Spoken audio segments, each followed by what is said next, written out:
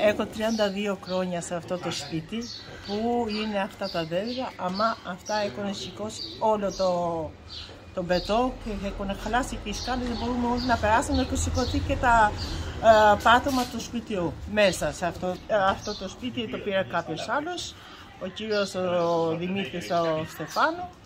Το βλέπει που το σπίτι σηκώνεται κάθε μέρα από τα, τα δέντρα και αποφάσισε να τα βγάλει για να φτιάξει το σπίτι του.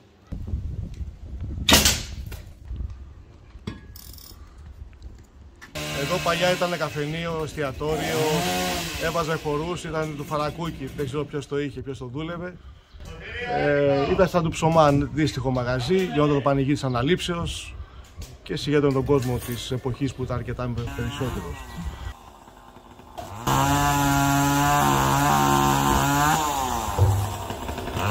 Από ό,τι είχα ακούσει και θυμάμαι το 1974 που έγινε επιστράτευση με την Τουρκία, με την γεγονότα της Κύπρου ήταν χώρος επιστρατεύσεως και συγκεντρώσεως όλων των στρατευσίμων αν δεν ξέρω όλης της Άνδρου, τουλάχιστον από την περιοχή της.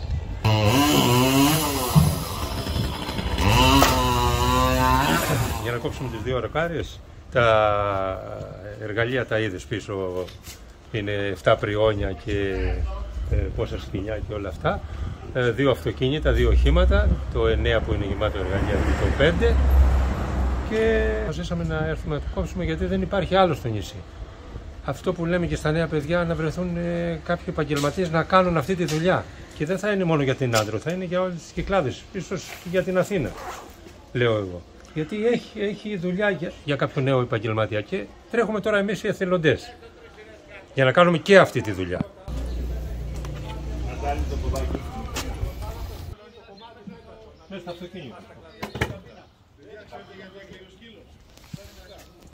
Ο Σύλλογος Εθελοντών Δεσοπυροσβεστών Άνδρου ιδρύθηκε το 2007.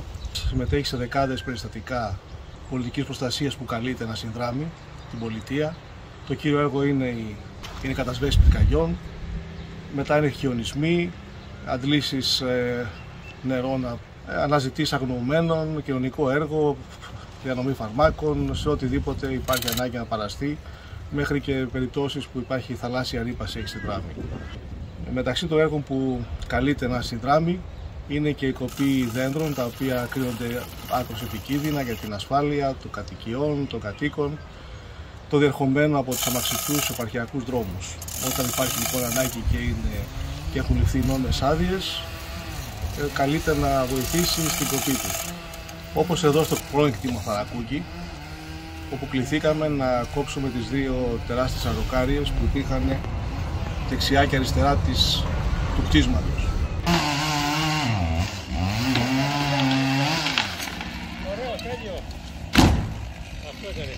Αυτός ο οποίος κάνει τις κοπές είναι ο Νίκος Καζάπης, ο πρόεδρος του Συλλόγου, ο οποίος έχει τεχνογνωσία, την εμπειρία, την ηρεμία, την ασφάλεια, έχει λαμβάνει όλα τα προληπτικά μέτρα, αλλά το έργο του είναι δύσκολο και υπάρχει ανάγκη να υπάρχει μια διάδοχη κατάσταση γιατί και μεγαλώνουμε και τα κουράγια δεν είναι πάντα ίδια όπως ήταν όταν είμαστε νεότεροι. Να έρθουν νέα άτομα, νέα παιδιά, ώστε να αποκτήσουν την εμπειρία, τη τεχνογνωσία για να συνεχίσουν αυτό το έργο το οποίο είναι ευάριστο και είναι πολύτιμος βραχίωνας πολιτικής προστασίας. Έχουμε κάνει κατά καιρούς ε, συναντήσεις στα σχολεία, να έρθουν νέοι μαθητές, ε, έχουν ανταποκριθεί κάποιοι, αλλά το αίτημα πάντα υπάρχει και είναι παρόν να πλαισιωθεί από νέα μέλη και σε ηλικία και σε, σε, σε πρόσωπα. Και κυρίως το πρόβλημα υπάρχει στην περιοχή του Γαβρίου που για κάποιους λόγους δεν έχουν ε, την ανάλογη ανταπόκριση όσο έχουμε στην περιοχή της χώρας και του Κορθίου, δηλαδή δημοτικές νότες Κορθίου και Άνδρου έχουν ανταποκριθεί.